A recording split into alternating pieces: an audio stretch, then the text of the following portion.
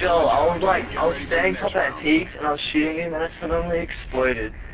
Like, what?